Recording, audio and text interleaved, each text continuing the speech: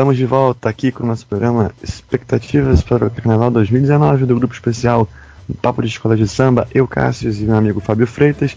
Dessa vez para falar da primeira escola a desfilar na segunda-feira de Carnaval. Chegou a vez da São Clemente, a escola da Zona Sul, amarela e preta, que vai trazer uma reedição. Depois de muito tempo, aliás, Fábio, já vou colocar essa dúvida, não sei se você vai saber, mas há quanto tempo não tínhamos uma reedição no grupo especial, né? São Clemente vai reeditar o enredo e o samba e o samba sambão de 1990, fazendo uma forte crítica aí ao próprio estágio do Carnaval Carioca, que a gente já vem falando indiretamente em alguns programas, mas enfim, todo mundo sabe que vive um momento de crise, um momento de tensão por diversos aspectos. E São Clemente vai aproveitar esse momento para fazer essa sua crítica, resgatando o samba de 90. O carnavalesco Jorge Silveira foi mantido apesar do resultado do ano passado não muito satisfatório. Inclusive a escola, na sinopse, deixa claro que, a menos na visão dela, foi injustiçada, então até por isso manteve, né?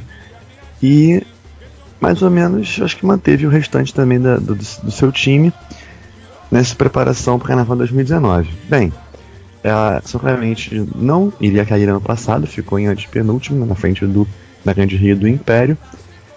Mas esse ano, mais uma vez, tá naquela polêmica se ela vai lutar para não cair ou não. E com as mudanças que houve na questão do sorteio e tal, ela acabou ficando para ser a, a primeira desfilar na segunda-feira, como na verdade seria né, se tivesse sido rebaixamento. O correto na, no início dos tempos, sendo rebaixamento, era que a viradora abrisse domingo, a São Clemente abrisse a segunda. Acabou que mudou, Império abre domingo, a Grande Rio tá no domingo também, a viradora no domingo, a gente já falou disso tudo. Mas a São Clemente continua abrindo a segunda. É, é tudo, todo esse cenário aí. O que esperar, Fábio, nesse primeiro momento, suas impressões sobre o enredo, né, sobre a sinopse desse enredo reeditado. E o que, que você acha desse samba, que já é um clássico, assim, né, da escola, mas como você interpreta-o para este Carnaval 2019? Boa noite. Oi, Cássio, boa noite. Bom, vamos lá. O que ocorre? O enredo, a escolha do enredo da São Clemente ele vem a calhar pelo momento, né? Devido a tantas situações aí ocorrendo no Carnaval Carioca. É, digamos assim que ele cria um entusiasmo do, pelo tema abordado, mas ao mesmo tempo, eu tenho percebido, isso não é apenas uma coisa minha, eu acho que poderia não ser uma reedição. Eu acho que uma reedição meio que tirou o brilho do tema proposto. É, vamos lá. O que acontece? Em 1990 já haviam os problemas, né, ditos pelos entendidos de samba. E no caso de lá para cá, eu vejo que esses problemas ou se modificaram ou eles pioraram. eu acho que para grande maioria eles é, se amplificaram e surgiram outros. E esses outros, que a meu ver, estão fazendo falta no samba reeditado. Tudo bem, foi colocado na sinopse, provavelmente, certamente vão aparecer no desfile, mas é aquele negócio, eu acho que o samba enredo, ele também não pode ficar muito além, tá certo que ele não precisa descrever tudo o que o desfile vai ter. Mas também ele tem que ter uma uma comunicação com o que vai ser passado.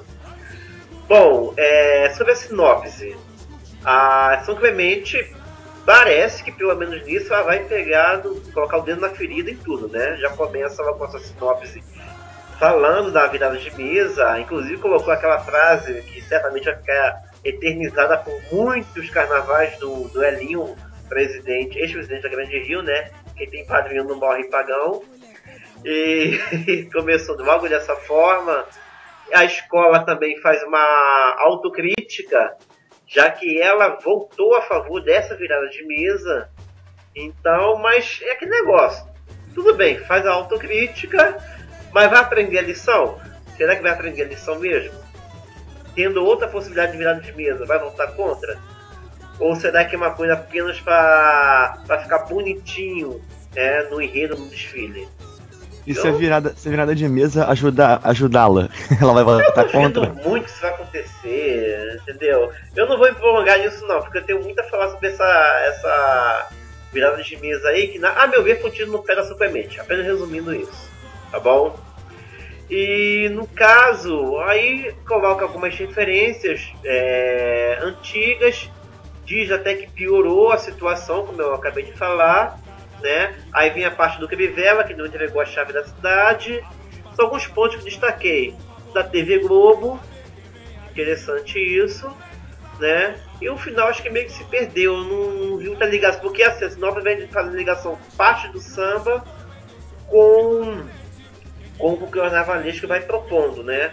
Mas no final, assim, ele meio que coloca umas coisinhas à parte que não vejo muita ligação, coloca mais sobre os enredos como de 86, sobre essa uva, de 88. E tá. Tá ok. A sinopse tá, tá interessante, tá ok. Mas a tradução disso que é o samba. Aí é que está. O samba, a meu ver, está defasado em algumas partes. É, e sem falar que, me desculpe falar o termo, é meio broxante ter uma, uma reedição em 2019. A última, se não me falha, foi em 2009 com o Império Serrano lá da das sereias. E eu particularmente nem escuto esse samba. Eu já tenho em mim e acredito que com as pessoas que são que gostam de samba enredo, a, aquele, aquela gravação de 90 inserida, né, é, enraizada, e ouvir uma nova gravação que, vamos ser francos, não é a mesma, acho que não tem o mesmo encanto, e eu particularmente pulo e vejo faltar esses detalhezinhos aí que eu acabei de falando, por exemplo, do Crivella. Eu acho que seria interessante um novo samba, uma, uma nova eliminatória e colocar esses detalhes. Mas a escola preferiu, né, reeditar. Tá o samba totalmente fora? Não, não tá. Se você analisar, eu particularmente acho que tem uma frase, um verso, um samba que ele meio que resume tudo, né? Dirigentes poderosos criam tanta confusão. Nessa frase acho que dá pra entrar tudo. Mas é aquele negócio, acho que faltou ah, os detalhezinhos. É bom, é bom a gente cantar ah, as coisas atuais, os pequenos detalhes. Ficou faltando isso, a meu ver. E o samba? O samba é um clássico, gosto muito do samba, na gravação de 90. É, eu penso que esse negócio de reedição foi uma ideia interessante quando surgiu mas o que acontece? Primeiro, vamos lá, a reedição surgiu com a ideia de pegar carnavais antigos que não tinham boas plásticas ou bons resultados e colocar com a plástica atual. 90, a meu ver, foi um, digamos, o ápice do, do nível das escolas de samba. É, as escolas tinham até uma boa plástica, não sei se foi o caso da São Clemente, mas as escolas estavam investindo. A escola teve a melhor colocação da sua história e acho que isso deveria ser preservado, Cassius eu não, não curto isso não. E outro detalhe, esse samba ele é clássico, mais pro pessoal do que conhece a escola de samba. Eu não vejo que o grande público geral o conheça, como foi o caso de Aquarela Brasileira, do que o Império reeditou, ou até mesmo que a tradição fez em 2004 quando reeditou é, Pontos de Areia até a última reedição do Império, apesar é, de o Samba das Sereias não ser tão famoso assim, mas ele. É, exatamente. Ainda entendeu? cola um pouquinho. Exatamente. Então, e também, e tem um detalhezinho aqui, pela letra, como eu falei, se a gente pegar tudo aqui, realmente hoje em dia tem essas coisas, mas tem um verso que eu não posso deixar passar, que é o tal do Rambocitores. Cara, o Rambo já morreu. Me desculpa isso daqui. O Rambo já morreu. Não dá pra é, Rambocitores, porque na época. É, na, época, na época encaixou é, perfeitamente, né? Tava no auge, tá, o Rambo. É. Comparar, mas realmente hoje fica um negócio meio esquisito ali é, meio. pra quem não sabe, é referência ao samba de escritório, né? O compositor colocando samba em várias escolas e de várias disputas, melhor dizendo, e o Rambo com pegou a brincadeira Rambo com disputa e essa brincadeira. Eu vejo totalmente defasado. Mas Samba, eu não sei como é que o jurado vai ver isso daí não. Eu ficaria entre o 10 e retirar pontos por ver esses, esses detalhezinhos para estar tá defasado. Tá bom? Essa é a minha análise. E você? O que você vê isso aí? Eita, vamos lá que esse, isso é complicado. Eu gosto da proposta do enredo, é o que você falou. Eu acho que o enredo crítico é interessante, é fundamental até. Inclusive, ele começa muito bem as sinopse, como você falou. Só que uma coisa que eu acho curiosa, é justamente que a gente falou muito da Grande Rio, né? Que o pessoal falou mal da Grande Rio, a Grande Rio, digamos assim, ela reconhece sua culpa, a São Clemente também reconhece aqui, né? Que no fim acabou votando. Então, fica aquela coisa assim, não sei até que ponto é uma crítica, um aproveitamento, enfim. Mas não vamos entrar na, nessa discussão ética da, do enredo, vamos analisá-lo mais na sinopse. Meio que tentando contextualizar os problemas que já tinham sido comentados na época para o momento atual. Mas eu também estou contigo de que há muita coisa nova, então eu acho que reeditar o enredo é uma grande sacada. Mas o samba, não. Tanto por tudo que você falou, na verdade, Fábio, vai ser um pouco repetitivo, mas não é um samba que marcou, assim, o grande público, né? É, não é um samba, a meu ver, que não é, ele não é perfeito, eu acho que ele tem alguns probleminhas na melodia, a letra é muito inteligente, mas eu acho ele cansativo. Na verdade, a gente pode criticá-lo na visão é, mais, digamos assim, rigorosa do carnaval, que ele é um pouco marchado, né? É uma grande brincadeira, mas é. Então, se for, digamos assim, ser bem crítico e chato, entre aspas, ele também foge, samba de 90, já fugia um pouquinho é, dos sambas antigos e tal. Então ele já foi uma, uma certa mudança. É, voltando ao enredo, eu acho que ele cita algumas coisas novas, mas ele acaba também não citando outras. Né? Por exemplo, nessa questão das disputas de samba, eu não sei se eu, isso vai ser colocado ou não no desfile, tá? Mas a gente sabe que em dia tem os grandes grupos da internet, né? Que se ficam se digladiando, tem os clipes, aquelas coisas todas que exageraram nas disputas, é algo que acho que, meu ver, tem que ser criticado, mas eu não sei se vão conseguir colocar. Quer dizer, é um, o problema, digamos, do genérico, ou seja, a qualidade dos sambas ou sambas de escritórios, ele persiste, né, de 90 para 2019. Porém, houve mudanças nesse tempo na, nos detalhes, né, nas nuances do que realmente é pior. É, e isso não sei se vai ser abordado no desfile. Na sinopse ficou um pouco é, citado, vamos ver. Tomara que o Jorge consiga trazer essa abordagem mais recente. Eu, eu confio até nele nesse sentido de, de ter um cara muito conectado, né? Um cara muito consciente do momento atual e, a meu ver, aparentemente também tá com, tá com moral na escola para colocar suas ideias. Outro, mas assim, vamos, vamos esperar isso aí só no desfile mesmo para a gente poder fazer uma avaliação mais criteriosa do desenvolvimento do enredo. É, mas o problema, na, ao meu ver, está no final, né? Aí vou dar uma é, é, acho até que você comentou por alto isso, Fábio.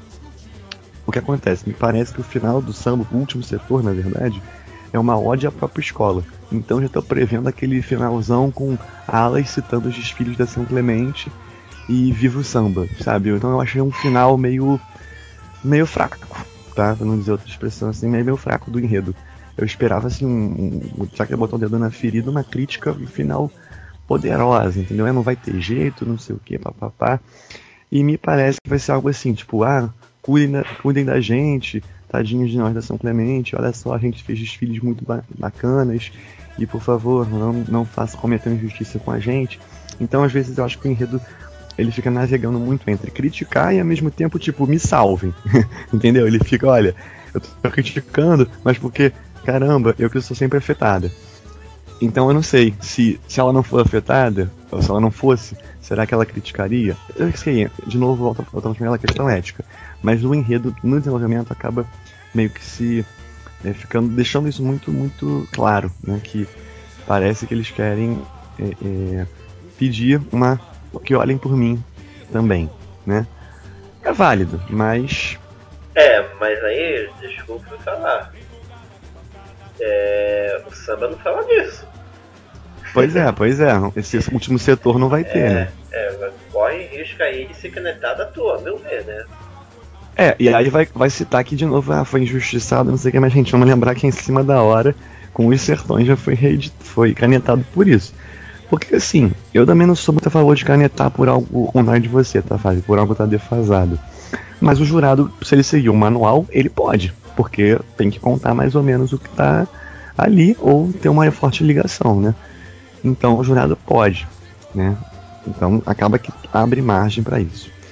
Mas, é, assim, em suma, em linhas gerais eu gosto do enredo, mas o samba acaba me desanimando um pouco, né? Então, assim, não tenho muitas expectativas é, pro, pro samba vingar na avenida, tá? Até porque eu já não achava ele tudo isso mesmo com a gravação de 90. Bem, vamos agora pensar no desfile, Fábio. O que, que você está pensando assim para termos de resultado e como que a escola vai se portar, dado todas essas nuances? Malbena tá falando mal da Liesa e da Globo, né? Muito diretamente. E do Crivella, quer dizer, do Crivella todo mundo tá falando mal agora, né? todo mundo bate nele. Mas o, o falar mal da Globo e da, da Liesa ali no meio, como é que isso vai se dar e o que, que você tá esperando para aparecer na pista de resultado? Bom, o desfile, eu, é, eu tinha uma expectativa maior quanto a esse desfile. É, não sei como é que com essa crise a Clemente vai aparecer, pelo que eu estou sabendo informações do, do, barra, do Barracão, a escola vai vir mais simples, mas é aquele negócio, né? O enredo crítico também, ele pode, ele permite que a escola venha mais simples. É sempre uma discussão, mas ele permite. Agora, é aquele negócio, tem que ter é o, a carta na manga tem que com alguma coisa a mais, né? Não adianta só mostrar um simples não, tem que ter uma teatralização coisa do tipo. Bom, expectativa com a São Clemente. É complicado porque eu já criei muita expectativa, expectativa com a São Clemente e chegou na hora a coisa não aconteceu. Confesso que a minha expectativa é a mesma dos últimos anos, nenhuma. Infelizmente, eu espero me surpreender muito Olha, olha que os, os torcedores da São Clemente vão nos atacar nesse vídeo, depois dos torcedores da Beija-Flor. ah, mas infelizmente é uma realidade, Cassius. É, a gente, quando a escola subiu em 2011, fez aquele desfile de 2012, criou expectativa, olha São Clemente aí, entendeu? É, depois, três, é, três anos depois, em 2015, fez um bom desfile. Mas no geral, tem um problema muito sério de harmonia. É uma escola que infelizmente ela não consegue empolgação. É, os componentes na maioria não cantam, entendeu? E talvez até isso justifique a escolha da reedição. Mas assim, com toda sinceridade, por esse motivo, eu acho que isso se tornou uma coisa tão forte na São Clemente que é difícil a gente meio que se animar. E a São Clemente tem um outro quesito também que, que eu acho que ela precisa melhorar, espero que tem, venha diferente esse ano, que é comissão diferente. É, São Clemente realmente tem que olhar muito essa comissão diferente e eu torço para que esse ano seja diferente. Agora, quanto à colocação,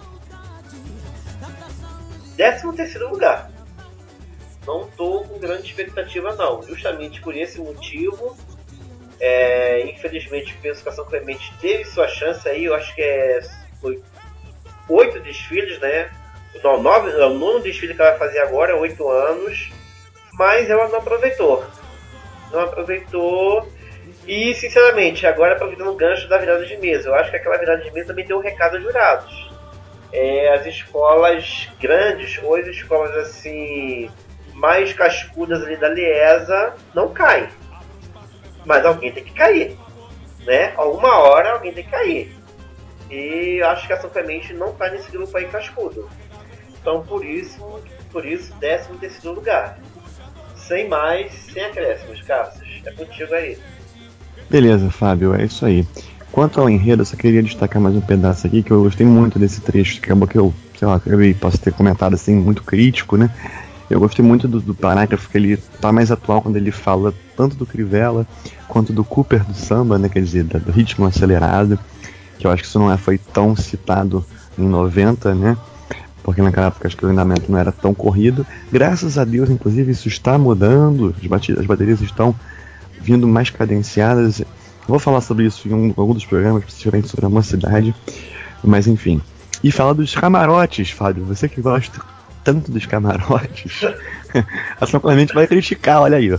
Quem diria, né? É, mas olha só, eu tenho outro receio quanto a esse enredo, além dessa questão toda da, da São Clemente, a gente já comentou pra gente, né, mostrar aqui nessa situação Clemente. A gente falou disso na Imperatriz, né, Fábio? Fábio, inclusive, fez seu desabafo como torcedor. Eu tenho receio de Ação Clemente, além de não ser muito esperada pelo grande público, essa crítica ser uma crítica meio que para nós que somos do mundo do samba, sabe?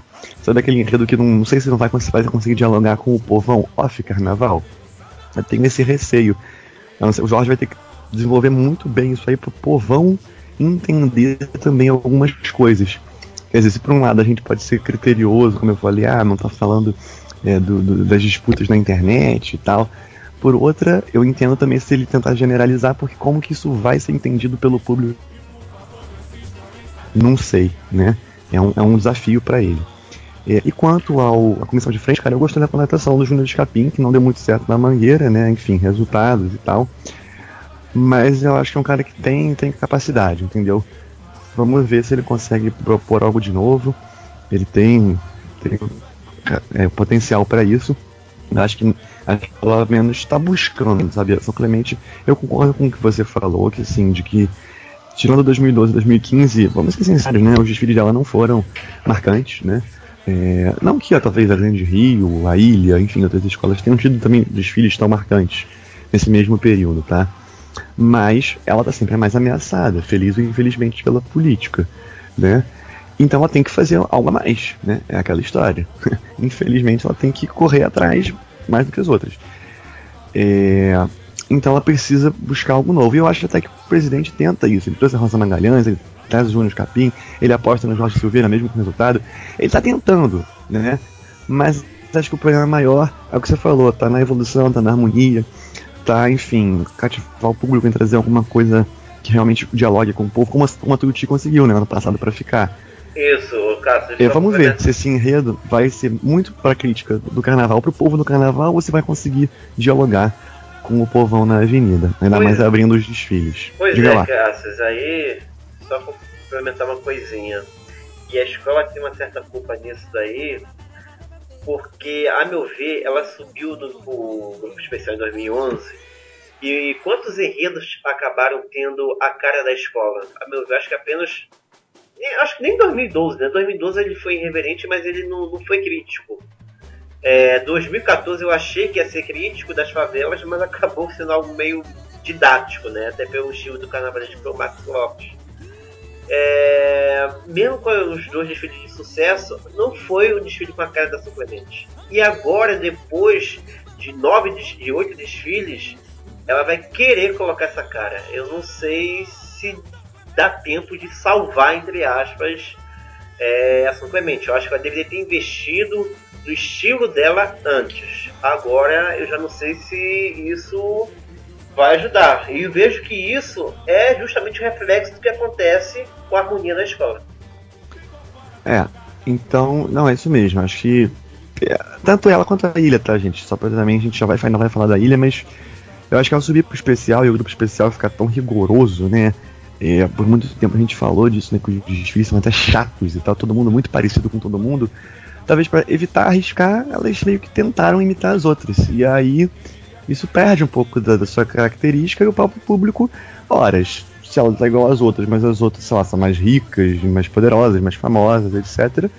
Qual o diferencial dela, né? Então acaba que é, é, a gente torce muito, sabe? Para que eu, eu, sempre gostei de estilos diferentes e torço para que tenha mais escolas, escolas mesmo teoricamente né, menores, mas que elas nos brindem com opções diferentes. Quando você acaba copiando o outro, é, você se perde um pouco. Mas vamos torcer para esse resgate acontecer e funcionar.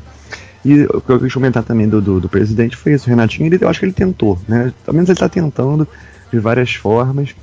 E acho que com a comissão de frente, para a bateria ele acertou, né? A bateria da Certamente hoje em dia está bem mais organizada. Então vamos, vamos, vamos ver o que pode acontecer em 2019. Mas apesar disso tudo, até por conta daquela questão polêmica do, de tocar na ferida e tal, de falar que ela também errou e de que ela sabe que ela que tá concordando no pescoço, eu acho que é arriscar demais no fim das contas. Agora que ela poderia talvez é, é se manter, ela tá se arriscando muito a falar mal da, da estrutura, né, depois de oito anos nessa mesma estrutura. Então, eu acho que vai acabar sobrando para ela em 13 terceiro, sim, né, junto ao Império nesse rebaixamento. Ao menos é o que a grande maioria tem apostado. E eu não vou ser diferente, não. Espero que ao menos ela consiga fazer um grande desfile independentemente de resultado. E aí sim a gente possa, se for o caso, criticar o júri com mais pertinência, porque eu acho que nos últimos anos, sim, teve algumas notas injustas para Rosa Magalhães, né, simplesmente e tal. Eu acho que 2012, pô, foi o resultado mais ridículo. Ela vai votado nas campeãs fácil e tal. Mas é, a maioria dos desfiles, como o Ravi falou, não foram tão marcantes assim. Tomara que agora seja, porque aí se realmente acontecer alguma coisa com ela de injusto, a gente vai criticar com fervor. E é isso, nos despedimos por aqui. Em breve, as outras seis escolas que desfilam na segunda-feira. Até mais.